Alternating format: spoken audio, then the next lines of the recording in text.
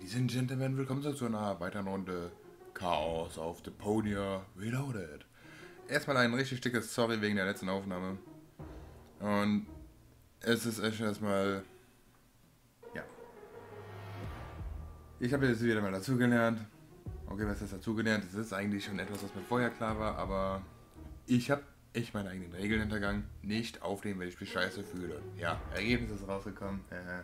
Durch eine Aufnahme richtig dickes Sorry.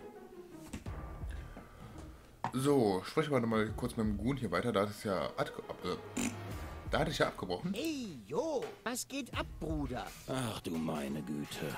Na los, mach mit. Äh, äh, Hippopuree? Übertreib's nicht. Du bist ein stinkender Penner und kein Schrottballprofi. Ah ja, das hatte ich ja fast vergessen. Ach ja, immer diese berühmten Let's Player. Wir könnten ein bisschen Freestylen üben. Wir könnten ein bisschen Freestylen üben. Als Bewohner des Ghettos musst du nur ein Instrument beherrschen. Die Beatbox. Beatbox? Es ist ganz einfach. So. Und jetzt du. Um, atsche, um, um, atsche.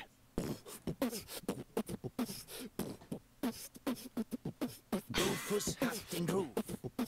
Rufus hat den Groove, yeah. Er ist cool, beliebt und lässig, wer kickt ass erfahrungsmäßig. Seine Pläne immer episch, nicht kopierbar, weil genetisch. Er ist Rufus. Yeah, yeah, Rufus. Wer ist geiler, weil er steiler geht und Styles bringt wie ein Eipaket. Der kommt krass und ganz weit rum, er ist bald auf Elysium. Rufus. Yeah, yeah, Rufus. Bam, bam.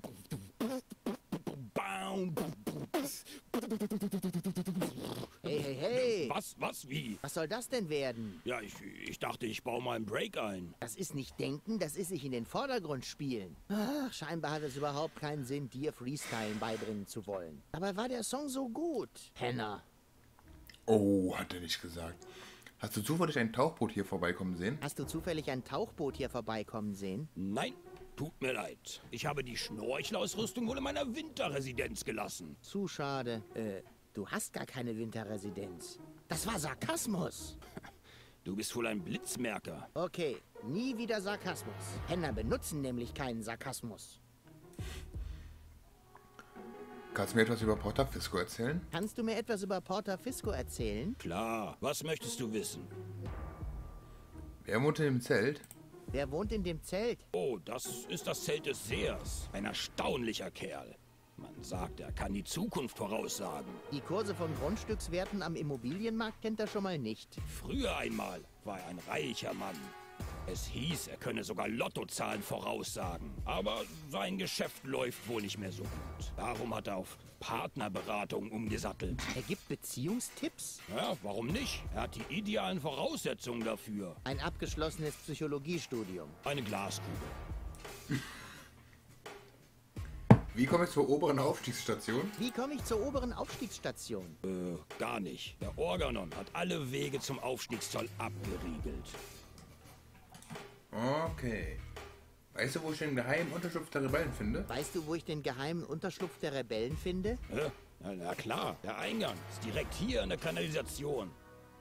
Ich meinte den geheimen Unterschlupf. Ich, äh, ich kenne nur den hier. Okay. Ist Porta Fisco nicht auch eine Niederlassung des Organon? Ist Porta Fisco nicht auch eine Niederlassung des Organon? Es ist sogar die zentrale Hauptverwaltung. Ulysses hat sein Büro direkt am Aufstiegszoll der oberen Aufstiegsstation. Seit jeher gehörte es zu den Aufgaben des Organon, Deponianern von den Hochbooten fernzuhalten. Nun ist nur noch eines übrig und man munkelt, es würde den Planeten schon sehr bald verlassen. Wer weiß. Vielleicht verschwindet dann auch endlich der Organon aus Porta Fisco. Dann würde ganz Porta Fisco einen Luftsprung machen. Ja. Mehr als du denkst. Äh, bitte was? Äh, beim Gähnen verrenkt. So langweilig fand ich die Geschichte jetzt gar nicht. Lass uns das Thema wechseln. Lass uns das Thema wechseln. Dieser Ort deprimiert mich irgendwie. Ja, ja, das kann ich gut verstehen. Mich deprimiert Porta Fisco schon mein ganzes Leben lang. Ja, aber du bist nicht so wichtig. Warum ist es bei dir weniger schlimm? Okay. Ich rieche dich später. Ich riech dich später. Denk dran, was ich dir beigebracht habe. Logen, Digger. Hm, okay, noch ein Tipp. Niemand mag Klugscheißer. Gut, dann gehen wir jetzt mal rüber zur geheimen Lager. Also geheimen Unterschlupf der Rebellen. Ja, Ich bin's, Rufus. bist du nicht. Wenn du Rufus wärst, wüsstest du das geheime Klopfzeichen. Weiß ich ja auch. Und es beginnt mit einem D, richtig? Ha, viel Glück. Ähm.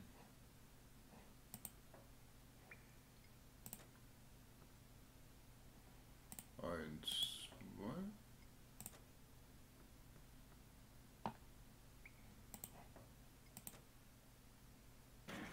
Falsch, Aber falsch. verdammt.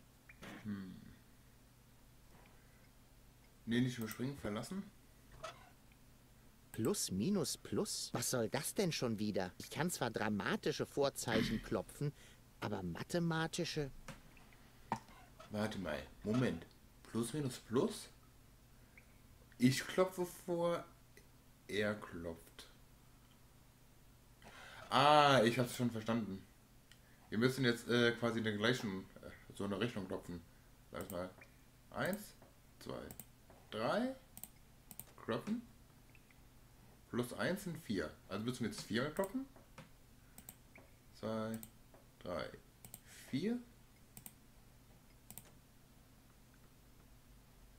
4 minus 3 ist 1. Und jetzt müssen wir 5 mal klopfen. Weil jetzt haben wir 1 plus 4.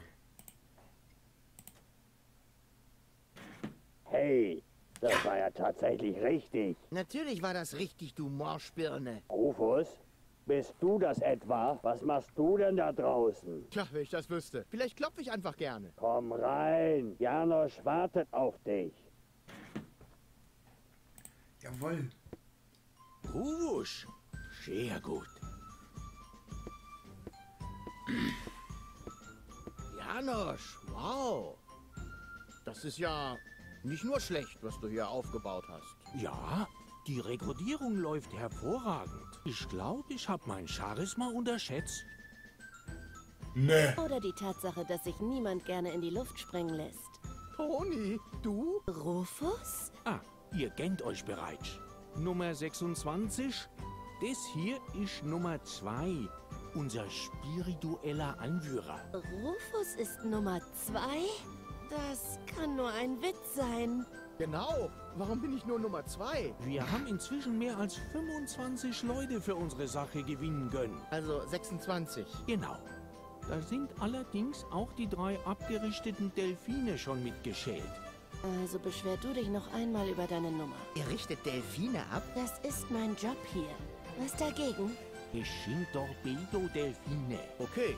Dass unter Tonis Obhut selbst niedliche Delfine zu blutrünstigen Mordwaffen werden, leuchtet mir ein. Aber wozu das Ganze? Was nutzen abgerichtete Delfine bei dem Versuch, einen Fahrstuhl in den Orbit zu kapern? Man muss halt nehmen, was man kriegen kann. Was offenbar insbesondere für spirituelle Anführer gilt. Zuerst wollten wir Flugdrachen haben, aber das hat sich als fataler Wildschlag erwiesen. Ich hab's Nummer 27 von Anfang an gesagt, aber er wollte einfach nicht hören. Ja, schön, Toni. Na, sieh mal an, wer mir da hinterhergelaufen kommt. Tja, meiner magnetischen Anziehungskraft konntest du eben noch nie widerstehen. Mach es bitte kurz, ja? Ich habe hier eine Aufgabe, die meine volle Konzentration erfordert. Delfine hüten. Einen Brechreiz unterdrücken. Ah, schön. Was machst du hier überhaupt? Was machst du hier überhaupt? Dich könnte ich ja wohl dasselbe fragen. Wolltest du nicht mit dieser Gabi nach Elysium reisen? Sie heißt Goal. Und wo ist Goal? Ist sie bereits einem deiner brillanten Manöver zum Opfer gefallen? Hast du sie aus Versehen aus einem brennenden Heißluftballon geworfen? Weit gefehlt. Es war ein Notboot. Oder sie sogar in Einzelteile zersägt? Nicht im wörtlichen Sinne. Goal wartet draußen. Und sie ist wohl auf. Zumindest zu zwei Dritteln. Sie kann einem nur leid tun. Wie bist du hier gelandet? Wie bist du hier gelandet? Du wusstest ohne mich wohl nichts mehr mit dir anzufangen, was? Tja, ich wachte eines Morgens auf und stellte verwundert fest, dass es in der ganzen Wohnung keinen einzigen Brand zu löschen gab. Ich musste kein Dach neu decken, keine Zahnpasta aus den Heizungsrohren polen, keine verwundeten Nachbarn verarzten. Es bestand nicht einmal die Notwendigkeit, einen Gnu aus der Küche zu verscheuchen. Und da packte dich die Sehnsucht nach mir. Und da erinnerte ich mich daran, dass ich seit Jahren keinen Urlaub mehr gemacht habe. In Busa Westwalk hörte ich dann Gerüchte von einer Rebellion gegen den Organon. Das hat scheinbar mein altes Rettersyndrom getriggert. Du und ein Rettersyndrom? Wenn überhaupt, dann hast du ein Prinzessinnen entführen und mit Feuerbällen auf Retter werfen Syndrom. Nenn es wie du willst. Ich dachte nur, dass meine Erfahrung im Bergen von Explosionsopfern nützlich werden könnte. Tja, du hast mir so einige Fähigkeiten zu verdanken. Kann ich nicht mal bestreiten. Schön, dass du da bist. Verpiss dich. Ah, ob du es glaubst oder nicht, ich bin der Anführer. Ob du es glaubst oder nicht, ich bin der Anführer. Oh, Himmel, das ist genau wie in meinem Albtraum. Also träumst du immer noch von mir. Ich war sogar in Therapie deswegen. Tja, so gerne ich über deine mich bezüglichen Fantasien sprechen würde, dein Traummann hat eine wichtige Mission. Oh, Du wirst nicht glauben, was mir alles passiert ist. Du wirst nicht glauben, was mir alles passiert ist. lass mich raten. Du warst schon fast in Elysium und dann ist dir wieder einmal deine Gutmütigkeit dazwischen gekommen. Woher weißt du das? Weil das Gespräch jedes Mal so abläuft. Als nächstes sage ich dann, das hast du beim letzten Mal auch schon gesagt. Und du sagst, Aber diesmal war es wirklich so. exakt. Und auch wenn du gleich das Gegenteil behaupten wirst, du wirst dich nie ändern. Aber ich habe mich geändert. Verdammt. Das Delfinbecken müsste mal wieder geputzt werden, Rekrut. Das Delfinbecken müsste mal wieder geputzt werden, Rekrut. Bitte was? Ich hoffe doch, ich habe mich verhört. Aber Toni, ich bin immerhin der Anführer. Ich muss darauf achten, dass hier alles seinen geordneten Gang geht. Und ich kann dich unmöglich bevorzugen, nur weil wir mal zusammen waren. Das ist doch... Gibt es Probleme, Uwus? Ich glaube, du hast deine Mannschaft nicht im Griff, Janosch. Nummer 26 hier wollte mir doch tatsächlich gerade widersprechen. Tatsächlich? Ich darf doch wirklich sehr bitten, Nummer 26. Wenn der Chef etwas anordnet, dann hast du Folgen zu leisten. Aber... Kein Aber, Rekrut. Ei, ei, Chef. Oh Mann, oh Mann, oh Mann, oh Mann. Ich habe mich geirrt. Das hier ist deutlich schlimmer als mein Albtraum. Zum Meeting trinke ich meinen Kaffee übrigens schwarz, Rekrut. Zum Meeting trinke ich meinen Kaffee übrigens schwarz, Rekrut. Das ist jetzt nicht dein Ernst, oder? Janosch. Rekrut? Bei euch piept's wohl. Ich bin doch nicht euer. Rekrut? Und nichts verschütten, Rekrut. Du schaufelst dir dein eigenes Grab. Ja? Egal, das ist es wert. Ich glaube, dem würden ein paar Liegestütze gut tun, Rekrut. Ich glaube, dir würden ein paar Liegestütze gut tun, Rekrut. Überspann den Bogen nicht. Wir sind im Bürgerkrieg, Toni. Jede deiner überschüssigen Speckröllchen hier kann den Tod eines Kameraden bedeuten. Mhm. Du mieser... Oh oh. Wie geil! You were killed by an ugly dragon. Here you. Re- Restore? Schön. Okay. Ach, drei. Ja, was können wir noch alles nehmen? Gerümpel, Delfine, Goodie. Ich jetzt mal mit Janosch. Hey, Janosch. Ah, Uwus. Du dem Organon und so. Wie hast du es geschafft, in kurzer Zeit so viele Leute zu mobilisieren? Wie hast du es geschafft, in der kurzen Zeit so viele Leute zu mobilisieren? Ich glaube, sie haben sich einfach daran gewöhnt, einen Planeten unter den Füßen zu haben. Außerdem habe ich ihnen T-Shirts mit lustigem Aufdruck versprochen, weil wir Erfolg haben. Was treibt Toni denn hier? Was treibt Toni denn hier? Du kennst Nummer 26? Sie hat sich der Rebellion angeschlossen, weil irgendwer ihr Heimatdorf verwüstet hat. Ja, ich weiß. Der Organon. Nein, nicht der Organon. Irgendwer namens Verwigte Gattone. Nie gehört.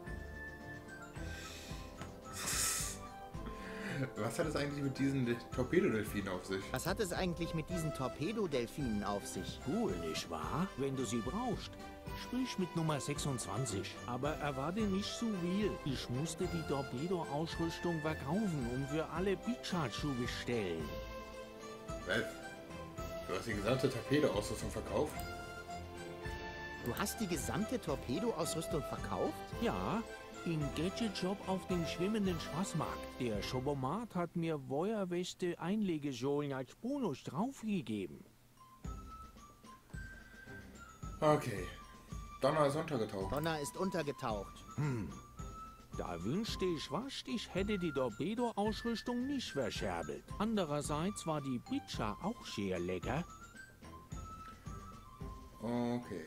Ist es nicht etwas zu riskant, direkt unter der Nase des Organon zu operieren? Ist es nicht etwas zu riskant, direkt unter der Nase des Organon zu operieren? Apropos, du hast da einen Popel zu hängen. Ein Bobel?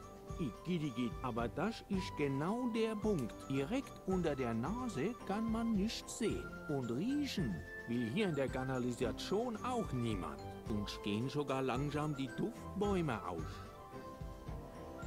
Okay. Ich gehe da mal Tauchboote jagen. Ich gehe dann mal Tauchboote jagen. Du das. Viva la Revolution. Okay. Durchreichen. Äh, hallo? Oh, hallo! Noch ein neues Gesicht. Bist du auch einer von Janos kleinen Freunden? Na hören Sie mal, ich bin der Anführer einer Rebellion gegen den Organon. Natürlich bist du das. Möchte unser tapferer Anführer denn auch einen Orangensaft? Vielleicht später. Haben Sie zufällig etwas Katzenfutter? Leider nein, mein Junge. Ich wollte vorhin etwas zubereiten, aber die nette junge Dame hat mich darauf hingewiesen, dass die jungen Delfine nicht zu den Vorräten zählen. Hm, welche nette junge Dame denn? Na, ihr? Soll euch der Onkel Rufus ein paar Kunststücke beibringen? Hm? Nein, nein, nein, nein. Wie sie sich freuen. Tschüss. Die Delfinbabys haben ihr Becken direkt neben der Durchreiche zur Kantine? Ist das nicht ein bisschen riskant? Ich konnte ja nicht wissen, dass du hier auftauchst. Aus Delfinbabys macht man doch Katzenfutter, oder? Wenn den Kleinen etwas passiert, dann töte ich dich. Ich meine es ernst. Ich töte dich. Das war kein Nein. Ja gut. Gehen wir mal nach hinten. Einmal den Goodie-Deckel zu mitnehmen. ja, das ist lustig. Das wird die Delfine garantiert aufmuntern.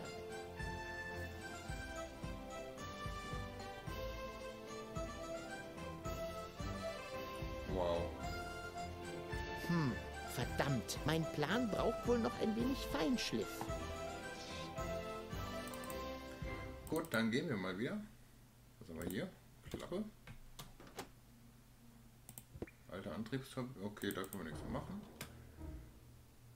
Oh, Stromumkehrer. Den können wir bestimmt gebrauchen.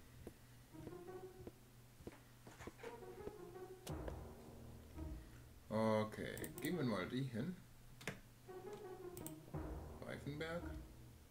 Der Organon hat offenbar die ganze Stadt abgeriegelt. Ich würde das ja als Herausforderung werten. Leider habe ich im Moment andere Sorgen. Glück gehabt, Organon. Da ist sie. Die obere Aufstiegsstation. Irgendwo da hinten liegt das letzte Hochboot nach Elysium vor Anker. Okay. Können wir noch irgendwo hinfahren? Ja, so wurde auch mal gesagt. Äh, ähm, hier ist ja schon der Schwarzmarkt. Fahren wir mal hier hin.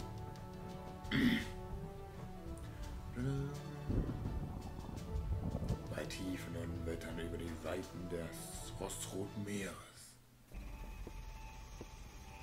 So ein Mistwetter. Wir sollten zusehen, dass wir hier so schnell wie möglich fertig werden. Die Kruste auf meinem Mantel beginnt sich schon aufzulösen. Ja, lecker. Dieselgenerator. Hier gibt's einen Tank für Dieselöl. Autsch! Solange der Generator läuft, ist er zu heiß, um daran rumzubasteln. Ich muss ihn irgendwie außer Gefecht setzen.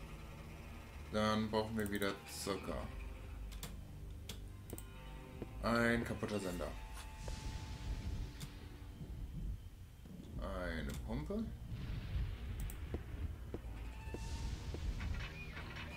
Aus dem Hahn kommt nur öliges Wasser. Na super. Funkmast. Dann wollen wir mal.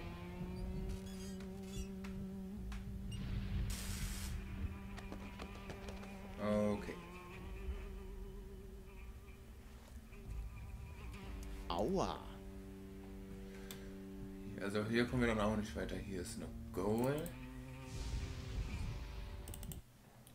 Wo konnten wir noch hin? Hier konnten wir hin. Wie jetzt? Das soll der Pol sein? Da tut Lonzo ja mehr Eis in die Drinks, wenn er Alkohol sparen will. Was für eine Enttäuschung. Ein Schneehaufen. Ich sollte mir ein bisschen davon mitnehmen. Vielleicht bekomme ich später noch die Gelegenheit, Amtmann Argus einzuseifen. Okay. Ein Schlauch? Mist, der Wasserhahn ist zugeeist. So viel zu meiner Idee mit der Schlittschuhbahn. Eine Klingel. Mist, der Knopf ist eingefroren. Kein Wunder, dass der Pizzabote nicht aufgetaucht ist. Der Nordpol. So eine Fackel könnte ich gut gebrauchen. Aber um da ranzukommen, bräuchte ich irgendwas, um das Eis zu schmelzen. So eine Art, weiß auch nicht, transportables Feuer. Mist, Ein Schild. das Schild ist größer als der Pol. Was haben wir hier noch? In Polarstern. Kuva konnte man das letzte Mal die Sterne so klar sehen, als ich neun war. Ich hätte wohl nicht den Filter aus dem städtischen Müllverbrennungsgenerator ausbauen sollen. In Kuva konnte ich hätte Okay. Hier kommen wir auch nicht weiter. Oh, ein Tee. Vorsicht, der Tee ist heiß. höre ich da eine Herausforderung? Nein, ich. Au! Uh, ah, verdammt! Ich habe dich ja gewarnt. Vielleicht mit was Eis zum Abkühlen? Was machst du da? Eistee. Aber der Tee war doch gegen die Kälte. Na und? Ich bin ja auch gegen Nahrungsmittelverschwendung und musste trotzdem zusehen, wie du die Pommes weggeworfen hast, die ich dir nachts in die Nase gesteckt habe. Jetzt sollte es gehen. Tu es nicht. Der Tee ist. Heiß? Wohl kaum. Nein, ich meinte ja auch. Schön. Oh oh.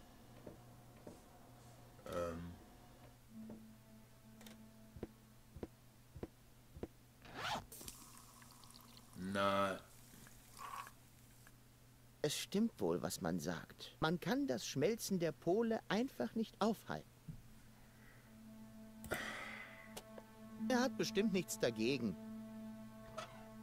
das ist, glaube ich, eins der widerlichsten Sachen in ganz Deponia. Kann man jetzt hier irgendwie den Wasserhahn auftauen? Osos Kutter käme gleich viel lässiger, wenn überall Flammen aus den Armaturen züngeln würden. Ich behalte diese Idee mal für das furiose Finale im Hinterkopf. Okay, den, die Klingel wenigstens? Osos Kutter käme... Mist, kein Wunder. Aber sonst haben wir hier auch gar nichts, ne? Schlau, Fernbedienung. Dann würde ich sagen, machen wir jetzt erstmal Stopp für heute. Ich habe jetzt heute extra mal ein bisschen länger gemacht, wegen dem Fiasko von der letzten Folge. Gut, dann würde ich sagen, sehen wir uns beim nächsten Mal. Bis dahin, tschüss.